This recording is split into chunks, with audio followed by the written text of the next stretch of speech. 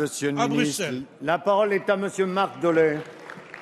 Monsieur le Premier ministre, avant la réunion de l'Eurogroupe cet après-midi à Bruxelles et à la veille du Conseil européen, ma question porte sur la demande de renégociation de la dette grecque formulée par le gouvernement d'Alexis Tsipras. Celui-ci affiche clairement sa volonté, selon son expression, de trouver avec les gouvernements européens un compromis viable, mutuellement acceptable pour notre futur commun.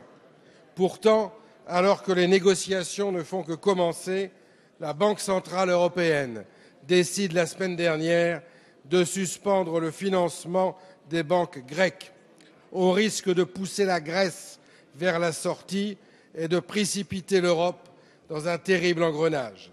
Un tel chantage à l'austérité n'est pas acceptable. Le mandat du peuple grec donné à son gouvernement doit être respecté.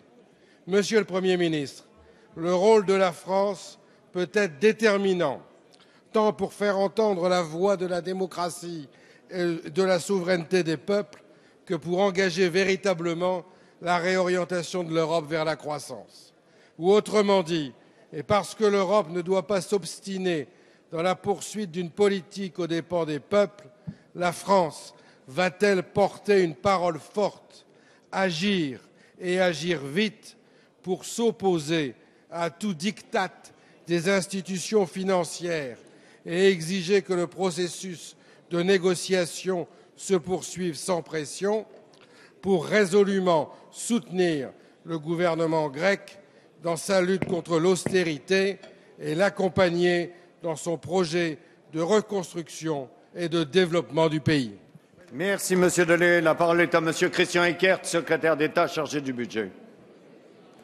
Monsieur le Président, Mesdames, Messieurs les députés, Monsieur le député Jean-Marc Dolez, la position de la France est simple.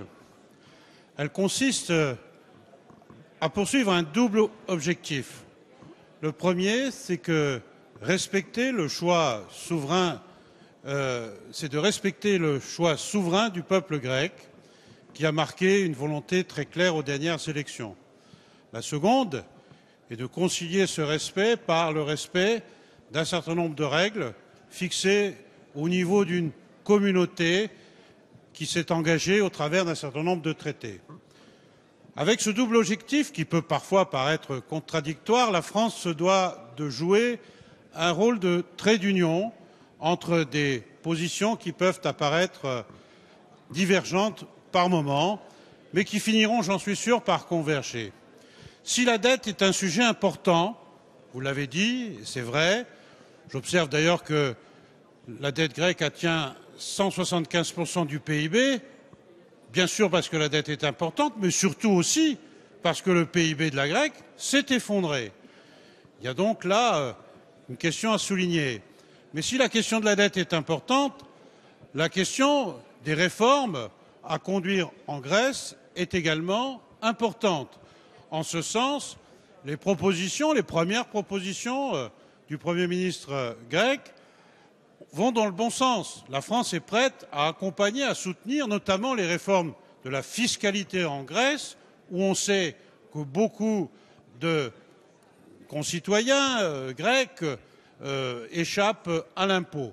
Et c'est donc tout l'objet des discussions que vous avez évoquées, auxquelles Michel Sapin s'est rendu cet après-midi, au moment où nous nous parlons. C'est le sens de notre position et nul doute que nous serons arrivés à une solution qui permettra la Merci, croissance Monsieur et le retour La parole est à à de meilleures